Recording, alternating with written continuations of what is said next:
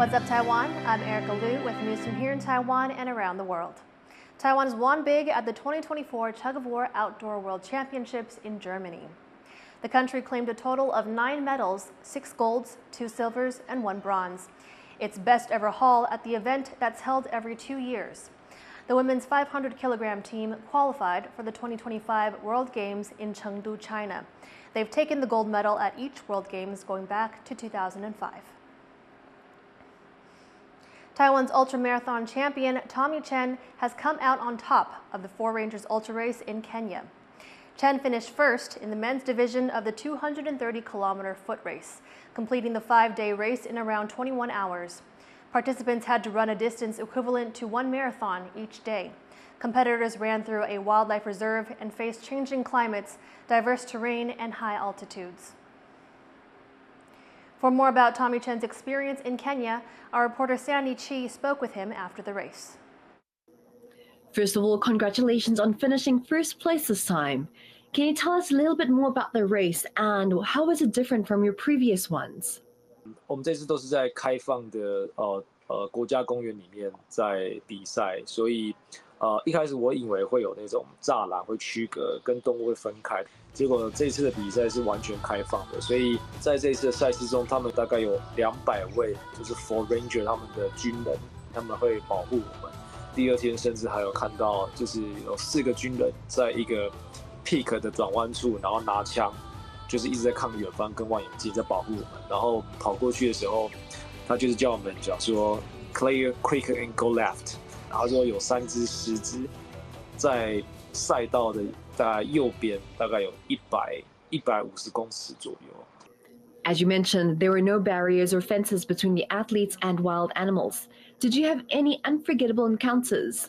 赛事的倒数第二天，然后呃，我们到了一个就是全世界唯一的剩下仅存的白犀牛的保育区，所以我们到那边的时候，我是直接看到野生的犀牛跟军队他们在保护他们。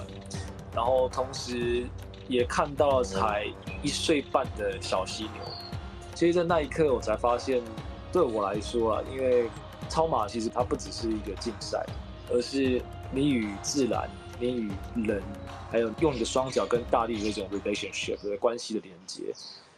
We understand that you've been competing in ultra marathons for over a decade. Can you tell us about your next step? 那因为在出国比赛也认识了不少的国家的冒险家，然后他们其实也启发我更多对于在冒险上的一些学习，所以在接下来我就慢慢会往 expedition，就是长征的这种竞赛，然后去不断的去做准备跟学习。That was ultramarathon runner Tommy Chen. A record number of dolphins and whales are washing up on Taiwan's beaches every year and a group of volunteers is doing their best to respond. Harrell Hughes reports. On a beach in northeastern Taiwan, an unwelcome sight. A dwarf sperm whale struggling on the sand, and a group of volunteers racing to save its life. They've been trained by marine conservation organization, the Taiwan Cetacean Society.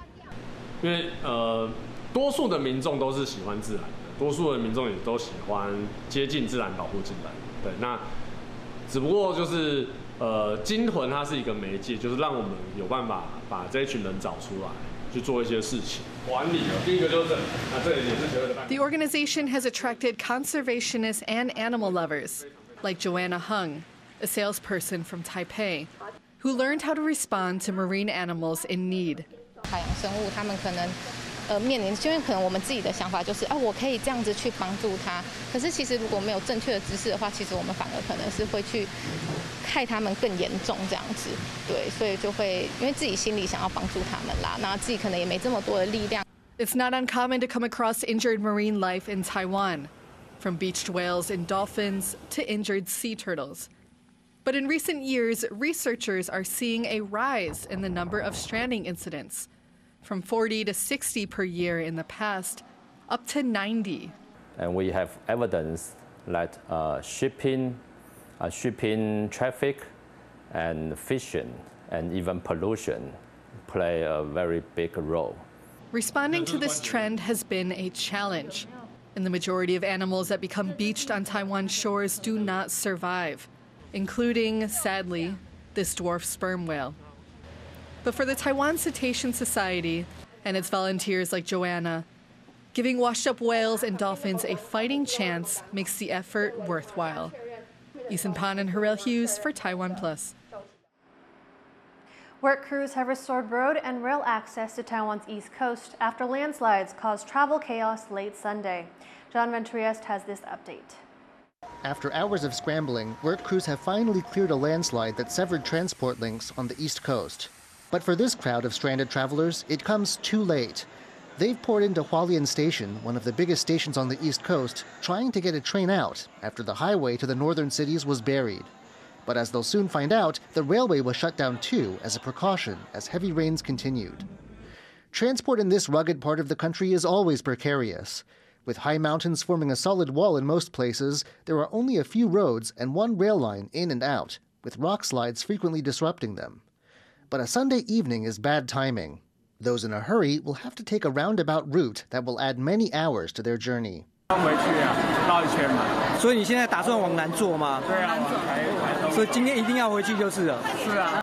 Others already on their way decided to turn back instead. 因为我们今天要回花莲，今天整个赛程结束，然后就因为土石流，所以在在台北。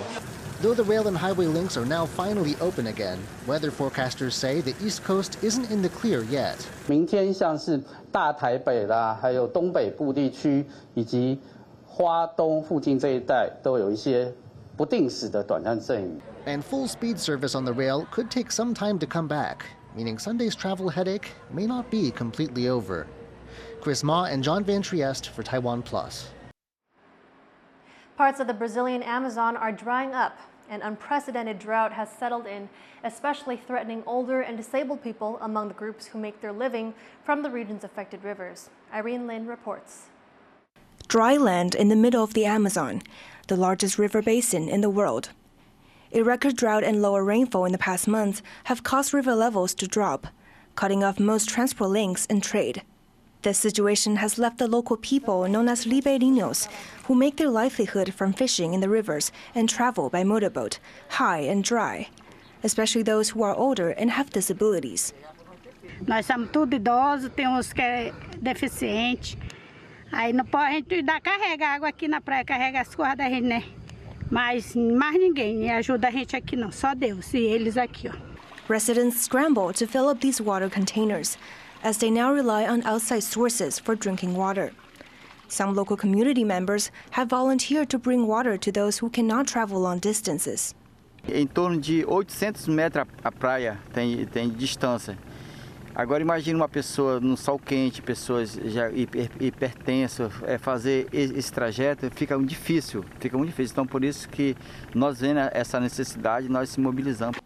A shop located closer to the water is also jumping in to help the community get through this tough time. Sem água ninguém vive, não tem condição. É isso que eu tenho que falar para o senhor, que aqui a água pode pegar noite e dia que a água tem, eu não cobro nem tostão. Eu pago água, mas eu não cobro nada para. É, lá no, no Beco do Relvas também. But besides drinking water, another challenge for the ribeirinhos is how to get their catches to the market. A gente fizemos um carrinho para conduzir um pouco, porque até porque meu esposo é deficiente do braço e eu tenho um problema nas pernas que eu não aguento estar carregando muito. Elas aqui que ajudam, mas está meio difícil a gente levar a produção da gente até a cidade. The Brazilian Geological Service has warned it expects all rivers in the Amazon basin to drop below historical levels. That means it could be some time before the ribeirinhos can get back to their normal daily lives. Scott Huang and Irene Lin for Taiwan Plus.